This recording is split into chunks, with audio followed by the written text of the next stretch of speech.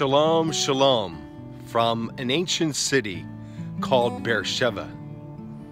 It's located in the biblical Negev, south of the Judean hill country, where Jerusalem is. Let's see the city of Beersheba together. This region of the biblical Negev is a very dry and arid region of the Bible. It only receives six to eight inches of rain each year.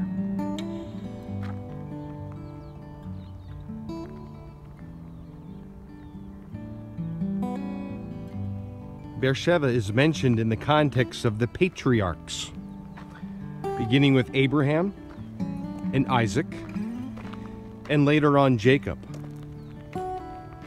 We read in chapter 21 of Genesis about Abraham making a treaty or a covenant with Abimelech here at this city of Beersheba. Although this well does not date to the time of Abraham, the well was used as a place of making a treaty. Beersheba actually means the well of seven or the well of the oath. It was here that Abraham made a covenant with Abimelech. This particular well has an extended trough. As the shepherd would have drawn water from the well, this water would have been placed in this trough so that his flocks could drink of the water. It reminds us of Psalm 23, how God serves as our good shepherd. And his cup continues to overflow to us, quenching our thirst as we come to him and claim his goodness and his grace.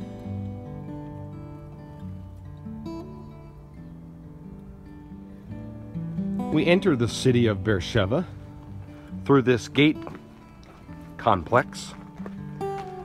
You can still see some of the original stones that date to the time of Solomon, a pavement, if you will, that would have led into an interior gate.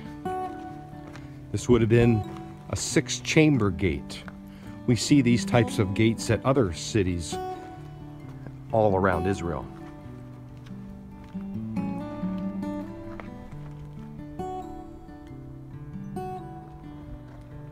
This is the area where archaeologists found a four-horned altar. There was a cultic worship center here at Beersheba that was used by Judeans. However, kings like Hezekiah and Josiah brought an end to this false worship at places like Beersheba and nearby Arad.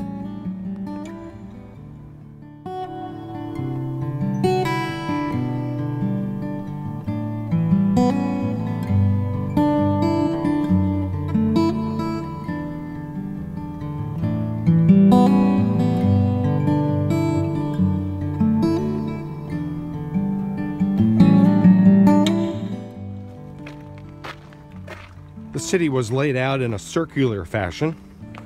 Some suggest that this allowed the residents of Beersheba to collect the rainwater when it would rain in this very dry and arid region of the Bible.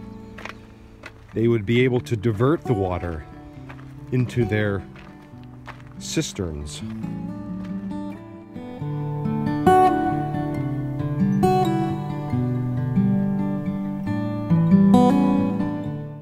Four room house or Israelite house. We can see the pillars that would have supported the second floor or the roof of this house. And we can also see the various rooms of this house used in the days of the Bible. The outer room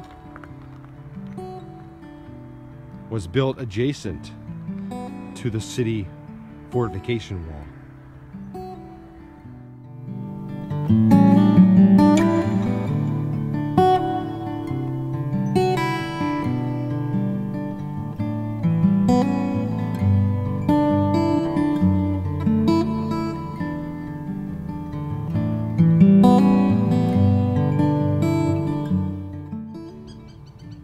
Storage houses were also discovered here by archaeologists, and these date to the time of Solomon.